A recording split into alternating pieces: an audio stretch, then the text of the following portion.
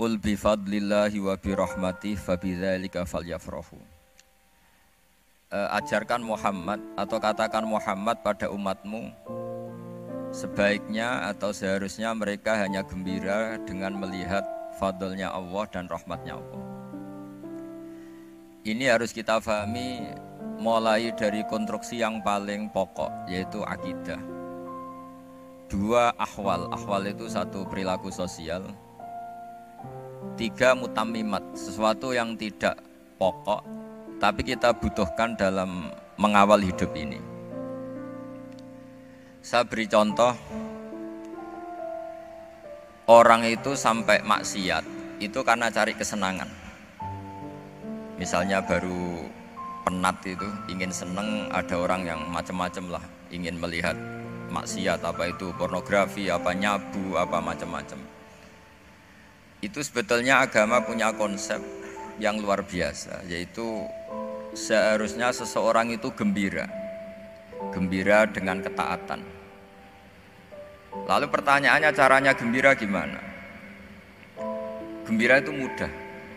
Jadi misalnya kamu sujud sama Allah Subhanahu wa taala. Terus cara berpikir begini ini sekaligus ijazah. Cara berpikir begini Ya Allah, ini kata Sayyidina Ali, kafani izzan an aku nalaka abdan wa kafani fakhron an takuna li robban. Ya Allah, eh, betapa sialnya saya andekan saya jadi budak dari makhluk yang sama.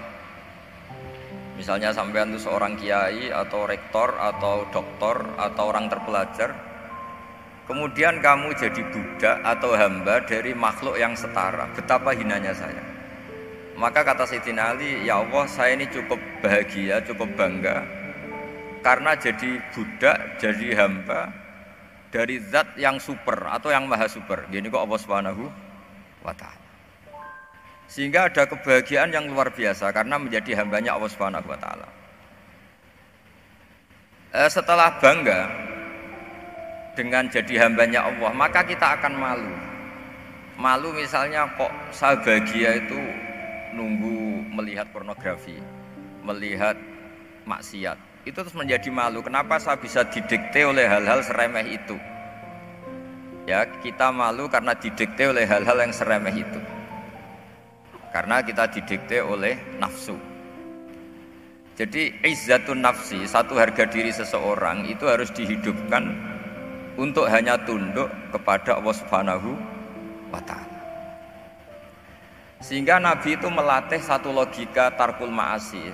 Nabi itu dulu ketika ada seorang pemuda yang ya karena mungkin pemuda ya dia itu mau masuk Islam tapi uniknya kata pemuda tadi saya masuk Islam tapi asal dibolehkan bebas zina jadi ini agak agak sableng gitu. Jadi mau masuk Islam syaratnya dibolehkan apa? Zina atau free sex gitu. Karena orangnya agak hiper. Itu Nabi tidak langsung mengancam dengan neraka ndak. Ketika mau pamit gitu semua sahabat melarang. Mah, mah itu jangan, kamu jangan suan Nabi. Itu permintaan yang nggak masuk akal. Setelah lama ditahan terjadi kegaduhan di masjid, Nabi dengar itu ada apa itu? Itu ada pemuda yang mau masuk Islam tapi yasta'dzinuhu zina. Tapi mereka minta izin Nabi untuk tetap boleh zina. Kata Nabi, e, pemuda itu suruh masuk, suruh menghadap saya. Ketika menghadap Nabi, saya ulang lagi ketika menghadap Nabi, Nabi mengajarinya itu luar biasa. Nabi tidak langsung mengancam dengan neraka atau dengan azab tunda, tapi kata Nabi, atuhibbuhu li ummik kamu suka kalau ibu kamu tuh jadi demenannya orang banyak. Oh ya Nabi, yang demen ibu saya tak bacok kan. Karena ini ya agak preman, di mana-mana orang nakal agak preman. Terus atau li bintik, kamu suka kalau putri kamu ya digitukan orang-orang. Oh ya enggak Nabi, yang gitukan putri saya tak bacok. Atau li kholatik, kamu suka kalau boleh kamu digitukan. Atau li ammatik, kamu suka kalau saudara bapak kamu digitukan. Nabi itu mengeset ya, Cara sekarang itu otak mungkin. Nabi itu meluruskan otaknya anak muda itu betapa buruknya zina. Cara bahasa Arab ditakbeh. Betapa buruknya zina. Kamu suka kalau korbannya ibu kamu, putri kamu, bude kamu, bule kamu. Sehingga orang itu matur ya hasbuka ya Rasulullah ini sudah cukup. Saya tidak pernah melihat sesuatu seburuk zina. Jadi faal fi qalbihi zina. Kemudian Allah meletakkan di hatinya menanamkan benci zina. Sehingga Akhirnya pemuda tadi menjadi iffah, menjadi menghindari zina. Artinya begini ya, ini mungkin yang lolos dari para kita sebagai dai, kita tidak belajar banyak tarbiyahnya Rasulullah Shallallahu Alaihi Wasallam. Jadi kalau kita benci maksiat itu jangan hanya ditahdir, ditakutkan neraka itu enggak, jangan hanya itu, tapi di logika. Ini pak, oh, iya. kurang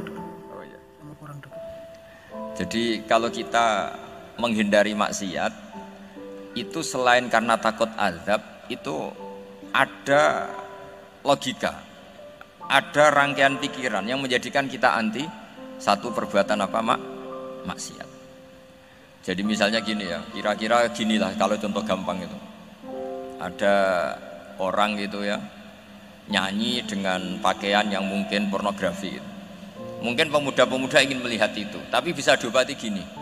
Kok enak dekne, dekne mergawe kok tak bayar ya, aku kehilangan duit. Meskipun dengan logika yang agak serampangan, yang penting menjadi kita ini punya harga diri untuk tidak tergantung hal-hal seperti itu. Sehingga Nabi itu cara menggambarkan tadi mulai atau hibbuhu li ummi. Kamu suka kalau ibu kamu jadi demenannya orang lain. Pemuda tadi bilang yang demen ibu saya mau saya bunuh. Ditambah lagi atuhibbuhu li bintik. Bagaimana kalau korbannya putri kamu, bule kamu, bude kamu. Sehingga terus si pemuda tadi betapa buruknya zina. Betapa murahnya zina.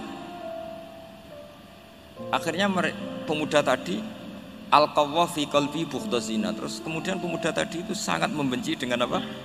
Berzina. Nah, pikiran-pikiran seperti ini harus kita tanamkan harus kita tanamkan supaya orang itu benci melakukan maksiat karena satu memang takut suhtuwah takut dibendu Allah atau dibenci Allah dua memang logika kita mengarahkan tidak maksiat nah ini yang terkait Unisula yang nangani kedokteran nangani medis. Sesuatu yang dilarang Allah itu pasti mador. Maka untuk melarang seseorang bergantung sama narkoba misalnya atau hal-hal yang bahaya pada fisik itu satu tentu bagi ahlullah tentu karena takut Allah. Tapi banyak masyarakat yang memang benar-benar bisa meninggalkan narkoba karena efek buruknya narkoba. Efek buruknya nopo ganja. Itu kita tanamkan sedemikian rupa bahwa itu mengakibatkan sakau mengakibatkan tidak sadarkan diri mengakibatkan kebangkrutan ekonomi macam-macam. Sehingga mereka benar-benar benci sama yang namanya narkoba. Jadi di antara manhajul Quran itu kalau mentakbeh, memburuk-burukkan maksiat itu mesti dikritik innahu kana fahisyah. Innahu kana fahisyata wa makta wa sabila. Innahu kana fahisyata wa sabila. Diulang beberapa kali. Sehingga dibutuhkan kecakapan untuk menganggap satu hal yang buruk itu fahsyah, sesuatu yang enggak rasional, sesuatu yang tidak positif, sesuatu yang pasti berdampak nopo nega, negatif. Sehingga kalau misalnya tadi dibacakan oleh Qori kuntum khaira ummatin ukhrijat linnasi ta'muruna bil ma'ruf wa tanhuna 'anil munkar. Untuk berhenti dari kemungkaran itu satu takbihun litil kal mungkar atau litil kal mungkarat. Bahwa mungkarat itu kita cap kita stigmasi bahwa itu buruk sekali. Seperti Nabi mengajarkan pemuda tadi masa kamu suka ibu kamu digitukin lelaki lain putri kamu, bule kamu, bude kamu. Sehingga orang ini pikirannya termenset betapa buruknya zina. Sama seperti kita sukses memenset betapa buruknya narkoba betapa buruknya bahan-bahan terlarang. Begitu juga seterusnya terus pengkhianat dan sebagainya. Eh, tapi problem manusia adalah dia itu akan mencari kebahagiaan atau kesenangan sesaat. Maka caranya gimana? Keinginan senang lewat maksiat ini dilawan dengan nyaman dengan to'at. Saya ulang lagi nyaman dengan to'at. Sehingga ulama dulu punya kalimatul munajat, artinya kalimat hubungan pribadi sama Allah yang menjadikan orang itu nyaman. Dan ini yang diajarkan kitab-kitab tasawuf. Kitab tasawuf itu sukses mengajarkan melihat alam raya ini semuanya nyaman, termasuk yang mengecewakan. Itu dianggap nyaman. Saya berkali-kali ngajarkan ilmu ini karena ini musalsal ila Rasulillah Shallallahu Alaihi Wasallam.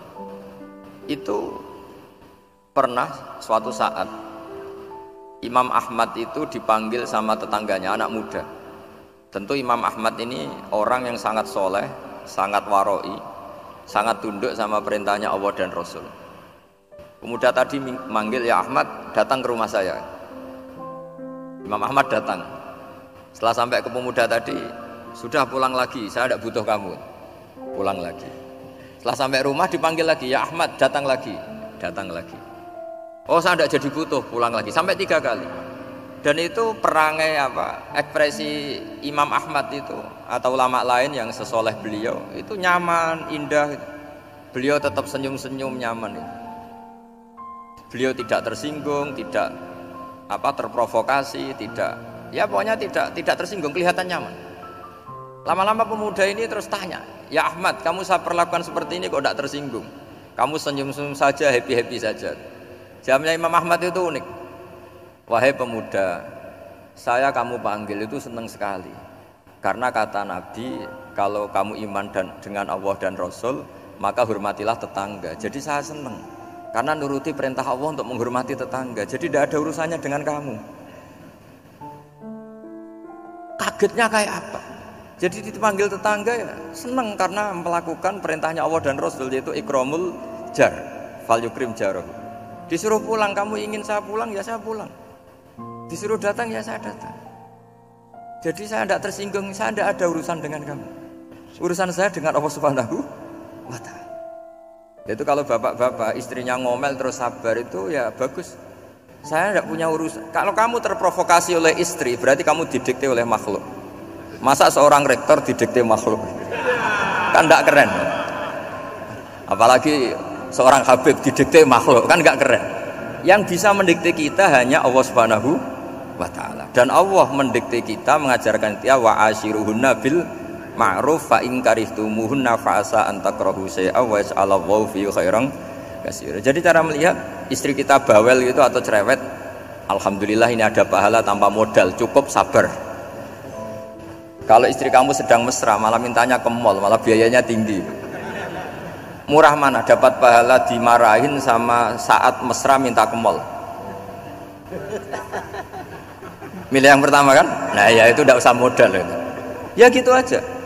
Jadi kalau istri sedang marah bawel, anggap saja ini rizki. Dapat pahala tanpa apa? Biaya. Nah, kalau pas rukun malah nantang ke mall, biayanya malah tinggi. Jadi ulama dulu itu melihat dunia itu happy.